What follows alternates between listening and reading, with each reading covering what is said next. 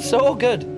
Estoy seguro que ya viste el video de Safe Rad, que en español se traduce en Salva Rad. Se trata de un cortometraje en el cual el conejo va narrando su historia, en lo que él describe como su trabajo, de cómo es la vida de un conejo que es usado para pruebas de artículos de belleza e higiene. Él explica que no escucha por una de sus orejas, que no ve por un ojo por culpa de los químicos que ha tenido que probar. As you can see, I'm blind in my right eye, and uh, this year, Este cortometraje fue escrito y dirigido por Spencer Susser, lanzado oficialmente el 6 de abril del año 2021. Hasta la fecha, se ha convertido en un tema viral, el cual está conmoviendo a varias personas del mundo, quienes condenan que aún en estos tiempos los animales sean maltratados por compañías de productos de belleza. I'm a tester.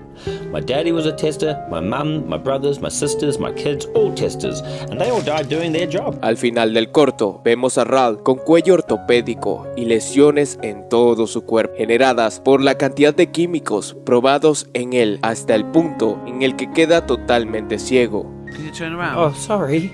That's alright. Um, is this better? yeah. Yeah.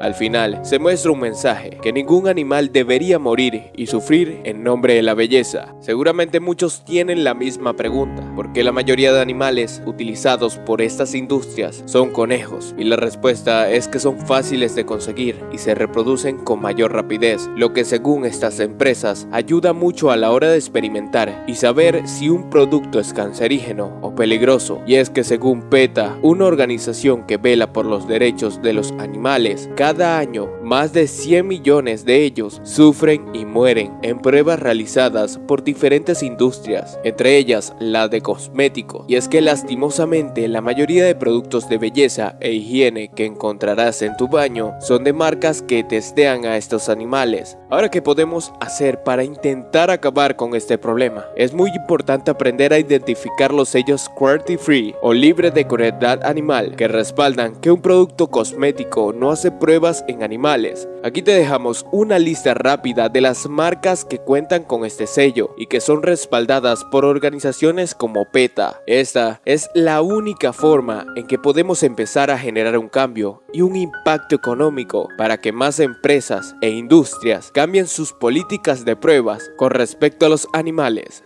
Dinos qué te pareció este conmovedor video acerca de Ralph. ¿Estarías dispuesto a ayudarlo? Házmelo saber en los comentarios. Si el video te ha gustado, deja tu like. Recuerda suscribirte y activar la campanita. Esto ha sido todo por hoy. Nos vemos en el próximo video. Ow, ow, ow.